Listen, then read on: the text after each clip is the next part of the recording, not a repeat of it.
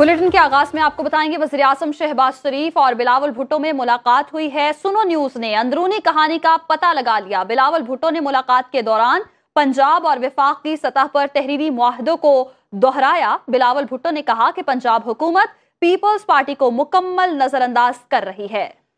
جبکہ ساتھ ہی ساتھ تحریری معاہدے کو مد نظر رکھتے ہوئے عمل کیا جائے، وزیر اعظم نے تمام تحفظات دور کرنے کی یقین دہانی کرائی ہے۔ مزید جانے کے نمائندہ خصوصی یاسر حسین سے۔ یاسر، بتائیے گا کیا تفصیلات ہیں اور اس کے علاوہ جو پی ڈی ایم دور حکومت میں وعدے کیے گئے تھے، ان کا بھی تذکرہ کیا گیا بلاول بھٹو کی جانب سے؟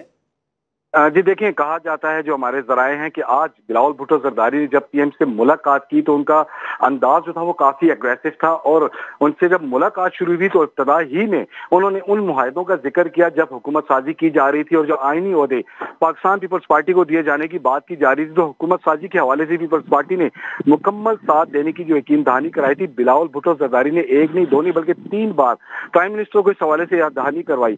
ساتھ ساتھ انہوں نے پنجاب حکومت کے حوالے سے بھی بات کی کہ آج اگر پنجاب حکومت نون لیگ کی حکومت ہے تو وہ پیپلز پارٹی کی ملون محنت ہے۔ اور اسی وجہ سے پیپلز پارٹی اگر مزید ناراض ہوتی ہے، وہاں کے ارکان تو پیپلز پارٹی مزید سوچنے پر مجبور ہو جائے گی۔ ساتھ ساتھ پی ایس ڈی پی منصوبوں کی بھی بات کی گئی، جو سندھ سے جو ترقیاتی منصوبے نکالے گئے یا ان میں کٹوتیاں کی گئی، اس پر بلاول بھٹو زرداری نے انتہائی ناراضگی کا اظہار کیا۔